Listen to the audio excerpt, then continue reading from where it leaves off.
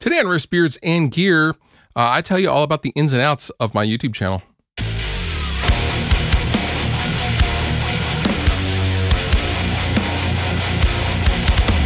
Today's video is a little different from the one I would probably typically make. Um, when I started this YouTube channel, I was just a guy in a bedroom kind of nerding out on gear, and it has grown to a something much larger and different than that. And although I am by no means the biggest gear channel out there or anything like that, I thought it would be useful information to kind of pull back the curtain and kind of let you guys in on how this all works. And we're even going to talk about how much I made last year. So the history of Riffs, Beards, and Gear is really rooted in my own frustration of not being able to find the things that I was looking for, whether that be uh, how to phase two microphones together or how to reamp guitars or just general information on things like, you know, two different overdrive pedals or something like that. I wanted something high quality, concise, and something informative enough so that I could make a decision on something that I was either trying to learn or trying to buy, really. And granted, the internet was a much different place in 2011 than it is today. Um, those are kind of still my my common goals for this channel. I always want to give someone a chance to just kind of see someone else's perspective on a given piece of gear or piece of information so that they can then decide for themselves what they want to do, really. So I started this channel in 2011 and I'm going on 11 years, I think next month, of this YouTube channel. And in that time, I have learned a lot, I've seen a lot, I've been called a lot, and I have been fortunate enough to kind of make this my living. And I think there's a lot of misconceptions on how something like this works. And my goal with this video is to just kind of let you in on my world and this YouTube channel. Now, there's a few different kinds of videos that I make. Um, typically, I will make um, gear demos, straight ahead traditional gear demos. Traditional as, as in my tradition of making gear demos, which will include what I like to call fancy camera angles, really good lighting, very high quality uh, videos that will also include a full demo mixed song using that guitar, amp, pedal, or whatever.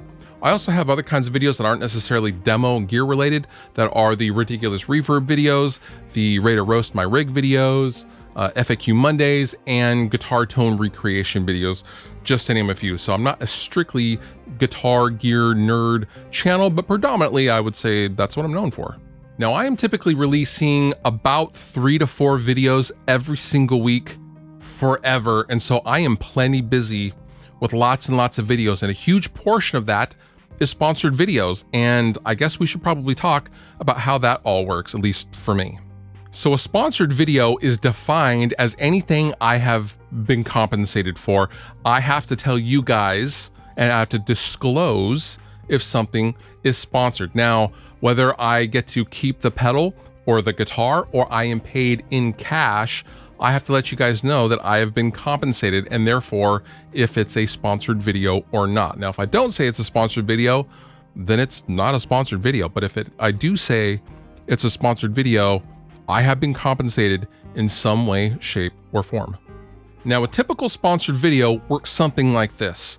A company will reach out and they will say, hey, um, let's talk about getting our product on the channel. And sometimes that's an already released product. Sometimes uh, I work with that company to um, necessitate a product launch, uh, whether it be pedal, amp, guitar, whatever. And that will require a coordinated release date uh, at a specific time and day. Um, but other times it's here's the thing, let us know when you have a video link for us to share.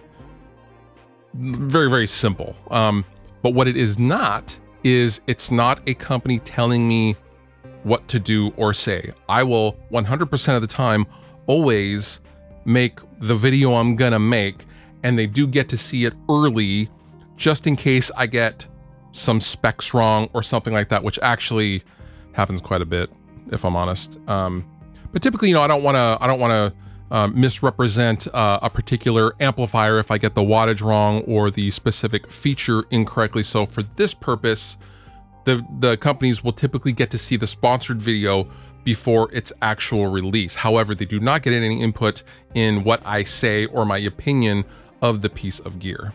Now, I guess it's probably a good time to also mention that once I get the piece of gear, I still have an out. I don't have to make the video if I don't like that thing. And typically, I will generally make the video because I typically like to play and check out most things. There are things that you guys never see on this channel that I either get and return or just don't agree to uh, even check out in the first place, whether it be a plugin, guitar pedal, guitar from some company, or whatever. There are things that you guys don't see that I do get to check out, but typically, um, typically I, I have a pretty good idea if I'm gonna like it or not when the company contacts me.